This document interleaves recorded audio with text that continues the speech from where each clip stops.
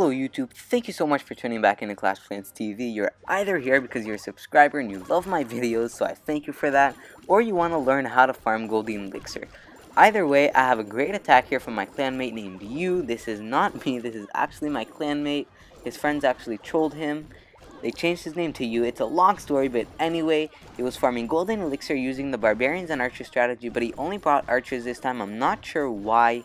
Usually I bring Barbarians and Archers, it's called the Barch strategy. It's the best way to farm Gold and Elixir, but either the, either way, this was a great attack. He's attacking obviously an inactive player because he does not have a shield, and he has over 600,000 resources. I believe Yu does not get all of it, but he gets the good majority of it.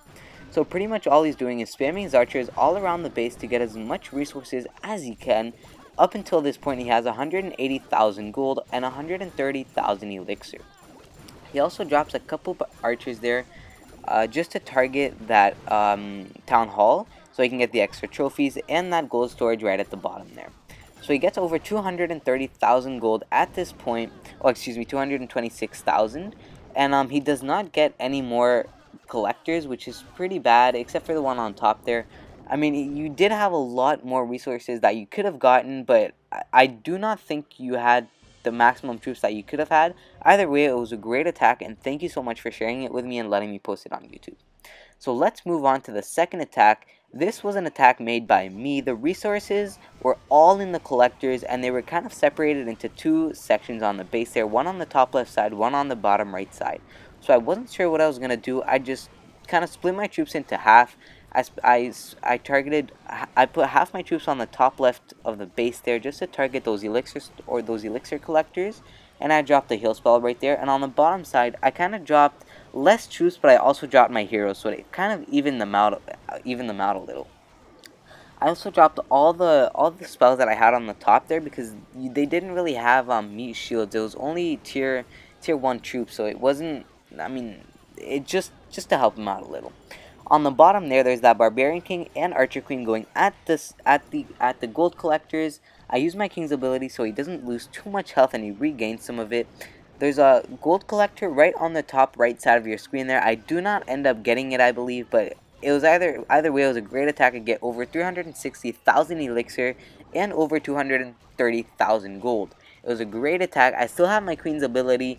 His Inferno Towers were not working, his X-Bows were not working, he does not have a shield, he was obviously an inactive player. I decide to use my Queen's ability right there just to get her some extra health, and I end the attack right there. There's not much more I can do. I also get four more trophies, which I really, which really helped me out later when I was farming Dark Elixir, because obviously the higher out, the higher up you go, the more Dark Elixir you're going to find. Let's go to our last and final attack for this video. This is another inactive player. It was an it was an attack done by me again.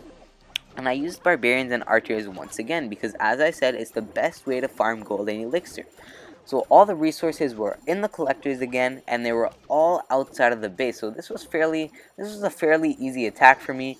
I kind of dropped archers all around the base where the defenses couldn't target them so I would keep as many troops as I can I draw some on the on the dark elixir drills on the on the left side of your screen there. On the right side, there's those elixir collectors, and I draw some archers on the town hall to gain a few trophies.